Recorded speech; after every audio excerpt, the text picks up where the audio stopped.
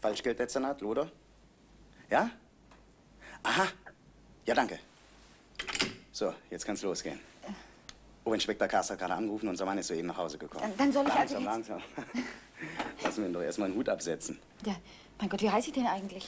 Marion May. Marion May, natürlich. Ja, aber seien Sie vorsichtig. Wir wissen ja nicht, wie die beiden miteinander gestanden haben. Ob äh, per Sie oder per Du oder mit Vornamen oder Nachnamen. Sie müssen da so ein bisschen lavieren, nicht wahr? Keine Angst, ich krieg das schon hin. Ja, gut. Also. So. Aber was ist denn, wenn der Mann nun schon weiß, dass das Mädchen tot ist? Tja, das müssen wir eben riskieren. Und wenn er die Nachricht nun doch schon erhalten hat? Dann wird er sich vielleicht verraten. Hoffentlich. Also.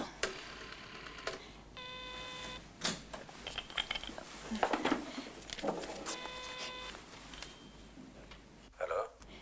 Ist dort 231437? Ja, wer ist da? Ich habe eine Nachricht für Sie. Marion, sind Sie das? Ja, Verdammt nochmal, was ist denn los?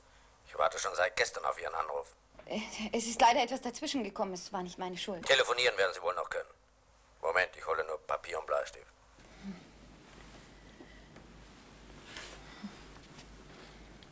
Also schieß los. 19, 22, 6. 7, 22, 13.